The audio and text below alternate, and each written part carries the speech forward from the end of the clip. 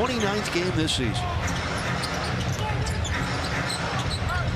In the corner, that's Vince Williams Jr. He triples. Out it comes to Konchar. This is Vince Williams from the corner, cans a three. That's his second triple tonight.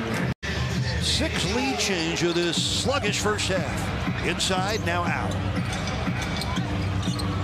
Driving in for a slashing score, Vince Williams. Well, he has 10 points. And here comes Jaren Jackson Jr. Heat defense gets back.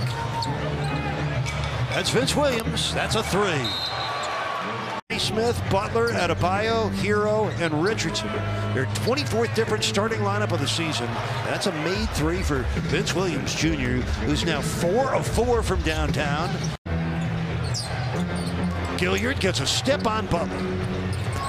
Here comes the bulldozer, David Roddy with a windmill slam.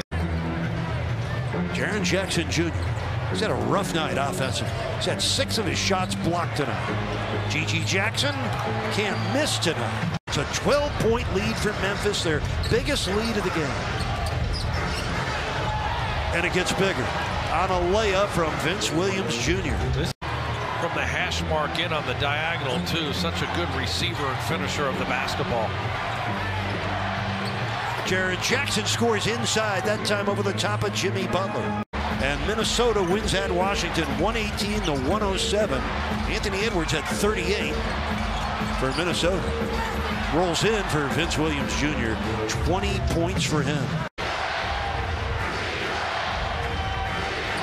Pippen Jr. breaks through, sets up Vince Williams, and he triples again. Big rebound there by Vince. Good look ahead here. Oh, look Konchar. ahead. Konchar, he lays it up and in. Miami's defense asleep at the switch, and the Grizzlies go up seven.